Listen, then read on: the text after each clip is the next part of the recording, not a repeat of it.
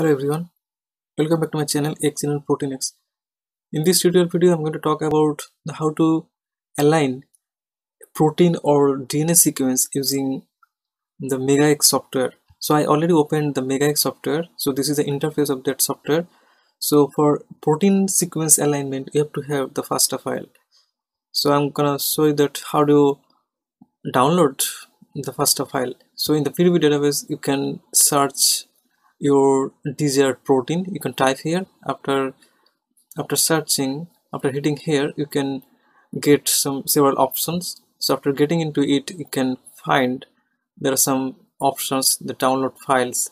So after hitting this one then you can get several options. So you can click here the FASTA sequence and then you uh, you can select your desired folder to save it.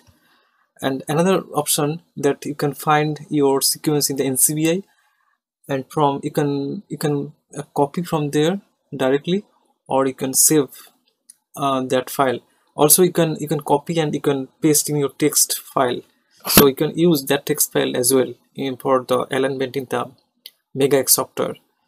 So I already have the the saved sequence downloaded protein sequence. So I would like to uh, align those sequence.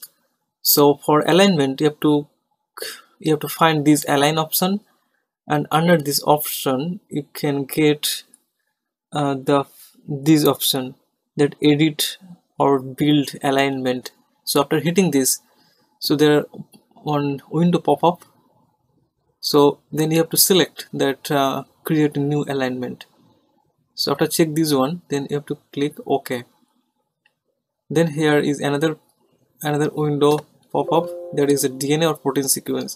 So now I'm gonna align the protein sequence so for this and after that the another window it's open up and you have to use this of this uh, window. So for this one so you have to go directly in the data sorry in the edit and then after under edit option you can find that insert insert sequence from file. So after hitting this one then you can get your that file. So I'd like to select this three protein sequence. So the same time I can I can press the control and I can select all of these these three sequences. So after that you can get uh, this alignment. So as you see here that uh, that these proteins are all these protein sequences are all aligned. SARS-CoV-2 spike, Omicron spike and Delta spike. So you can see that uh, the the variation or mutation or in the changing sequences here it's showing in different color.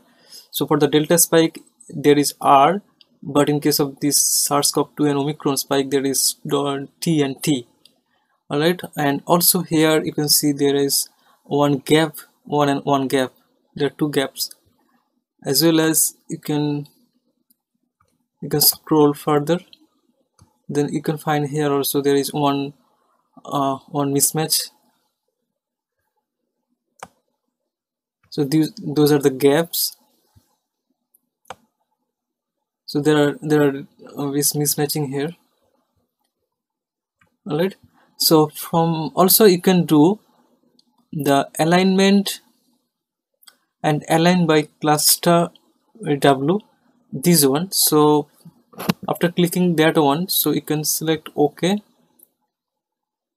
basically these are all similar kind of uh, alignment but you can use as well. So this is also like this kind of alignment but this is also the same kind of